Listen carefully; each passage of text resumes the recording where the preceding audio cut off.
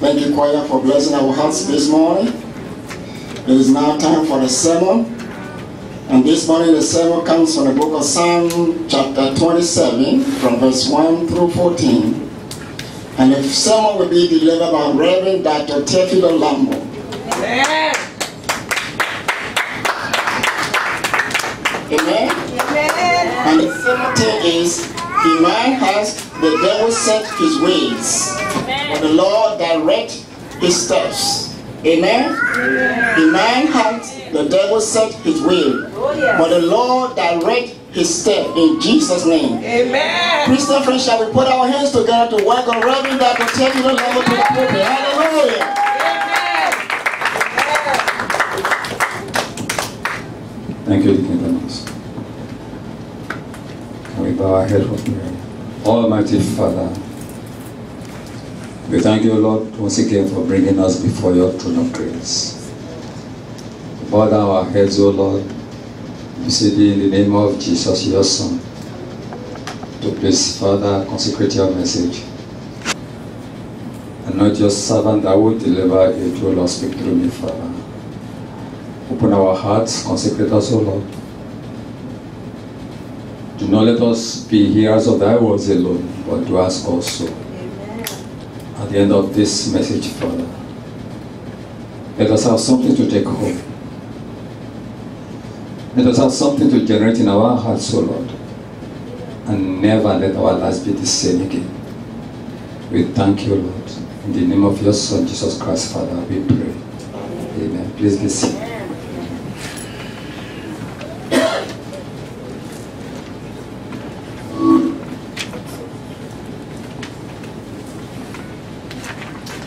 The theme of our message this morning, it's uh, also the same thing that is written in the book of Proverbs, chapter 16, verse 9. A man's heart devised his way, but the Lord directed his steps. A man's heart devised his way, but the Lord directed his steps. The sermon it's coming from the book of Psalm. Can we open our Bible please to Psalm chapter 27? The book of Psalm chapter 27. If you all there say amen.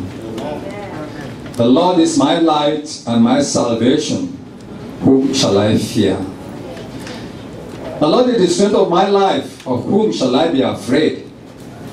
When the wicked, even my enemies and my foes, came upon me to eat up my flesh, they stumbled and fell. Though an host should encamp against me, my heart shall not fear. Though war should rise against me, in this will I be confident. One thing have I desired of the Lord, that will I seek after, that I may dwell in the house of the Lord all the days of my life, to behold the beauty of the Lord and to inquire in his temple. For in the time of trouble, he shall hide me in his pavilion. In the secret of his tabernacle shall he hide me. He shall set me up upon a rock. And now shall my head be lifted up above my enemies around me. Therefore will I offer in his tabernacle sacrifices of joy. I will sing. Yea, I will sing praises unto the Lord. Hear, O Lord, when I cry with my voice. Have mercy also upon me and answer me. When thou seest, seek ye my face. My heart said unto thee, Thy face, Lord, will I seek. Hide not thy face far from me. Put away in anger. Thou hast been my help, leave me not, neither forsake me, O God of my salvation. When my father and my mother forsake me, then the Lord will take me up. Teach me thy ways, O Lord, and lead me in a plain path because of my enemies.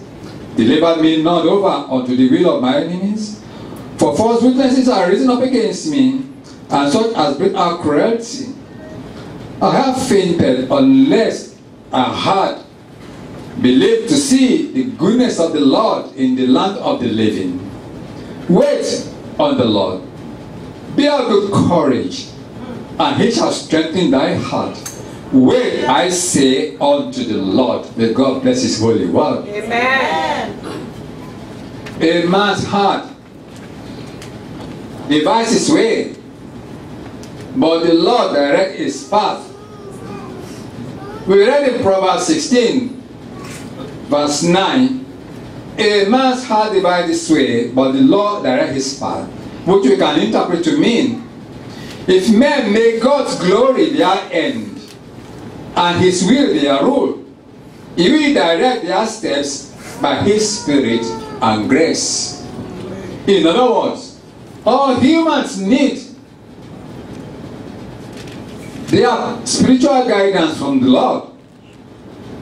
Whatever they are doing and whatever they hope to accomplish in this world, without God's guidance, we are just like a lost sailor sailing the large ocean of human existence, navigating the ship without a compass or a GPS to bring us to our destination without ending up with frustration, weariness, and a heart of despair. What then do we understand by that commonly used word, guidance? Guidance is the process by which humans or animals are channeled along a defined path, either to salvation or to destruction. There are different types of guidance. We have spiritual guidance, we have parental guidance, we have leadership guidance, and others. We read in the Holy Bible the accounts of how human race, kings, leaders, husbands and wives, men and women, through communication with their spiritual ears, which we often call the silent voice, beneficial only to those who are gentle and humble enough to recognize that golden silent voice, or either appearing in person or God sending his angels. And even using domesticated animals or natural things which we had created to guide us throughout ages. Spiritual guidance. Do come in many dimensions. Through dreams, by direct instruction from God, through personal encounter with God, through the angels, or through the servants of God, or by servants, by signs, by stars, pillars of fire, and cloud. The types that are more familiar to most of us in the modern world are through parental guidance, pastoral guidance, through prophets, pastors, and executive guidance from those in authority over us in many other religions. We have read that the diviners also seek spiritual guidance from God, who created all life in their quest for God's guidance on any decision beyond human reasoning or perception. The Old Testament gave us a variety of examples of God's spiritual guidance. God's method of guiding the human race vary according to the character to be guided, the circumstance prevailing at the time guidance was required. And in Genesis 12, 1 to 5, it's written, Now the Lord has said unto Abraham, Get thee out of thy country and from thy kindred and from thy father's house unto a land that I will show thee. And I will make of thee a great nation, and I will bless thee, and make thy name great. And thou shalt be a blessing, and I will bless them that bless thee, and curse him that curse thee. And in thee shall all families of the earth be blessed. Hallelujah. Now, God told Abraham to get out of his father's house so that he could receive and manifest his blessings from God. How many of us have found ourselves in such situations that because of the love, protection and financial security we were getting from our present situation, we refuse God's advice to move on and face the challenges of life which will awaken the senses of entrepreneurship in us and make us to think about that golden solemn question. God, what have you created me to achieve in this lifespan? I have often heard and also giving messages to people about this from confronting question Some we are told not to travel abroad, since his greatness is in the country of his birth. While for others, it is the opposite. In total disobedience to the spiritual guidance, many African young people have ended up losing their lives either by drowning or dying of heat and exhaustion while crossing the North African Sahara Desert, while some are still languishing in foreign prisons, all because they want to travel abroad in sight of the green pastures. In those days of old, we read that God or his angels often appear to humans, but no more now. We may be wondering why. Was it that our Father, God, was willing to appear to his people in those days? But in our present world, only extremely few believers can claim to have that personal contact with God. Has God abandoned us? I should think not. It is not just we have all become less dependent on God. We are all trusting in our own understanding and which had compromised our loyalty to God. God advised Abraham to walk before him and remain perfect. And his name, after receiving this blessing, was changed to Abraham, meaning father of many nations. Does any one of us can honestly say in his heart that he is strictly walking before God without putting our self-interest first? In Genesis 18, 1 to 15, Abraham was sitting in front of his tent when he saw three travelers approaching.